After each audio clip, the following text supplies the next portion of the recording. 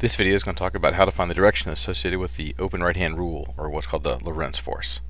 So if you take a wire, take this wire and you stick it in a magnetic field, and then you take the ends of the wire and you connect them to a battery, that'll generate a current running through the magnetic field, and the wire will move.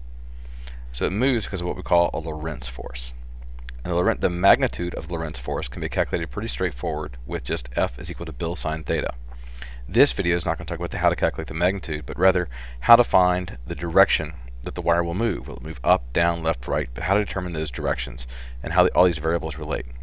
Well, this is all done with a vector cross product, which involves magnitude and direction. So this is about the direction component of it.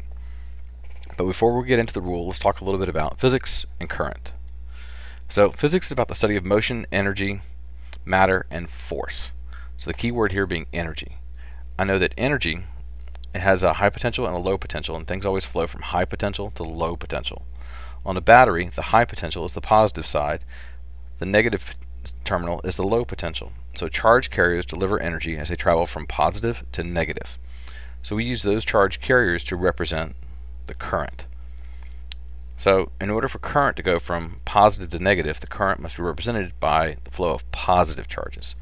So whenever I talk about current, I'm talking about the open right-hand rule, I'm talking about the flow of positive charges. If you think about current being negative charges, you're thinking left-hand rule, and you might use it a little bit differently. So this current, we're going to find current as the flow of positive charges because they're the energy deliverers for uh, a circuit. A force is a vector that requires magnitude and direction. So this is the direction part. I'm going to use the open right-hand rule to determine how these things all relate to each other, how they're perpendicular to each other. So here's my open right hand on the screen, and you can see I've got arrows coming up from the thumb, the palm pushing forward, pushing to the left, and then my fingers pushing into the screen. So they're each going to represent a variable. The fingers are the field, that is the magnetic field. So the fingers are the field and they seek the south. The palm provides the push. In other words, it's the force. So the fingers the field and they're seeking into the screen. The palm's pushing left and my thumb is the current or the flow of positive charge. So fingers of the field, they seek the south. Palm is the push, and a push is a force. And your thumb is the current, or the flow of positive charge.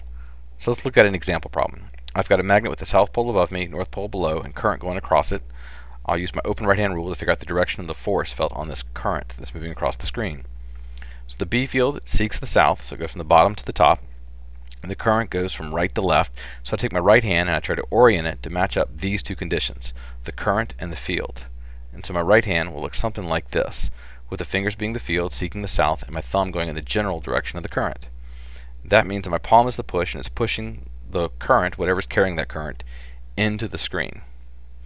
Let's look at a second and final example. What is the direction of the force felt by the wire? So I've got this wire with a positive terminal above, negative below, and put in a magnetic field. I've defined current as a flow of positive charge, so it's going to flow from positive to negative. In the B field, it's going to flow from north to south or from left to right on my screen. Now I might take my hand and I match it up so my thumb points down and my fingers point to the right on my screen. My hand's going to look something like this. Since my palm is the push, that means that my wire is going to be lifted up out of the screen towards me.